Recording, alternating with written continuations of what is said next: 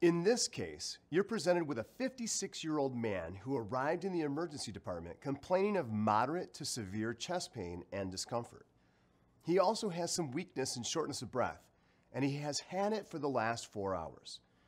As of the last one to two hours, the pain has intensified and it's now radiating up into his neck and jaw and down the left arm. When you ask him to describe the discomfort on a scale from 1 to 10, the patient states the pain is currently a number 9 and he feels as though he's going to be sick and vomit. The patient care assistant is directed by the nurse to get an emesis basin, and while the nurse keeps typing in the notes, you continue to ask the gentleman more questions. But he stops responding and appears unconscious. The scene is safe, your personal protection is in place. Now let's get started. It's at this time you would want someone to tap and shout and find out if the patient is now fully unresponsive. The patient is indeed unresponsive, so you'll want to call a code or ask for additional help, depending on your area of practice. The code is called, and in this situation, the team is now on their way. Now we want to assess for a carotid pulse as we begin gathering appropriate equipment that may already be in the room. As we check for a carotid pulse and breathing, we find no pulse and the patient is indeed not breathing. It's at this time that we would want to place a CPR board under the patient, or if they're on a hospital bed with a CPR button, activate it so that the bed will deflate and make the surface rigid if this hasn't already been done. Now it's at this time that CPR will be initiated. As additional assistance or the code team arrives, we are able to direct each of the team members to their respective roles or assign them their roles if they are equally trained. Now, as the team leader begins to take the leadership role, they direct the recorder to please record times, treatments, and any of the associated notes that are important to that protocol. A compressor will be assigned along with a monitor defibrillator team member. A reminder is given to do CPR at 30 compressions and at 2 to 2.4 inches deep with a rate between 100 to 120 compressions per minute. Remember, high quality CPR is the top priority in advanced cardiac life support.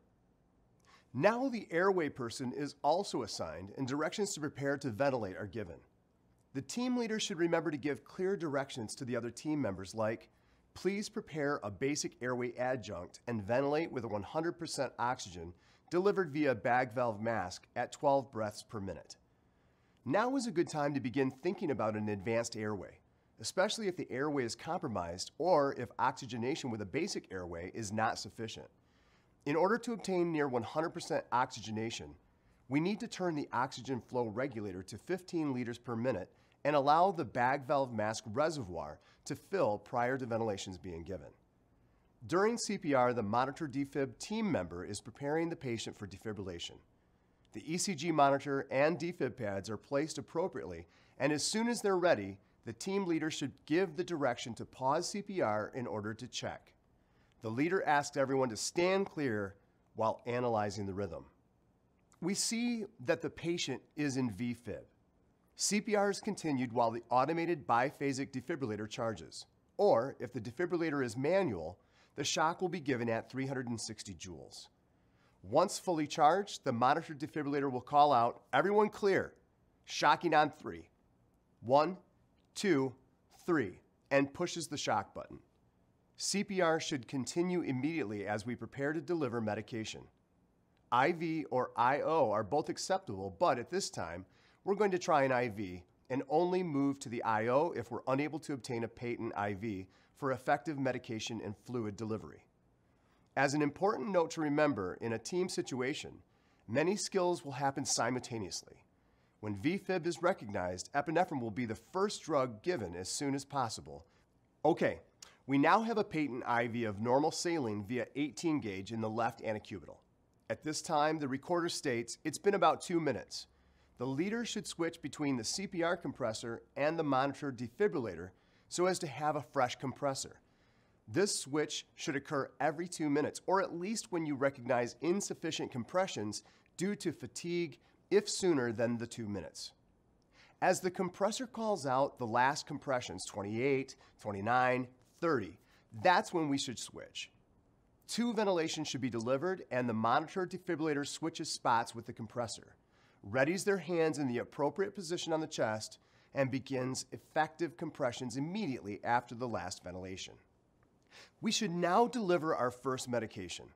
The team leader calls out a drug order for 1 milligram epinephrine 1 to 10,000 IV push, and then flushed with 20 cc's of normal saline. The IV medication team member calls back the same order 1 milligram epinephrine 1 to 10,000 given, IV push flushed with 20 ml of normal saline. You could say, that's correct, so now we can continue. CPR continues again for two more minutes, and at the end of that cycle, the team leader calls out, stop compressions. The leader checks the ECG and sees that the patient is still in ventricular fibrillation. It's at this time that the team leader calls out for another automated shock to be delivered, or if manual, another 360 joules shock.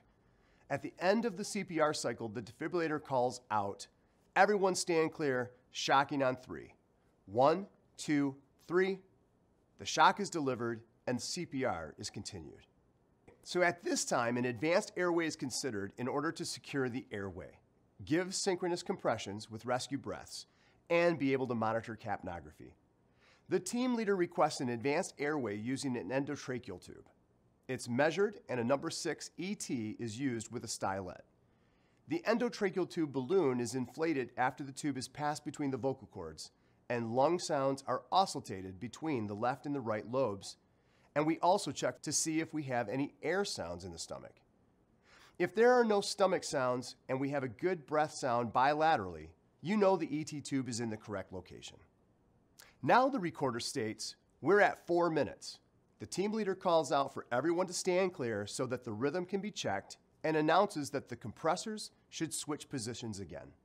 The team leader states that the patient appears to still be in ventricular fibrillation. So let's go ahead and prepare for the third automated shock, or the next 360 joules shock if manually delivered. Once again, the defibrillator tells the team and leader, shocking at 360 joules, everyone stand clear, shocking on three. One, two, three. The leader now says to continue CPR. The team leader will now direct the next medication to be given IV push, which will be amiodarone at 300 milligrams. The assistant should repeat, I'll give 300 milligrams of amiodarone IV push followed by 20 cc's of normal saline. After they flush it and confirm the medication is given, the scenario continues until all treatment options are exhausted and all possible causes are ruled out. Now it's important to remember that a second dose of amiodarone may be given for persistent VFib at half the initial dose, which would be 150 milligrams after two minutes of CPR, and another shock that does not convert the rhythm. In addition, epi may be given every three to five minutes and can be staggered between the shocks and the CPR.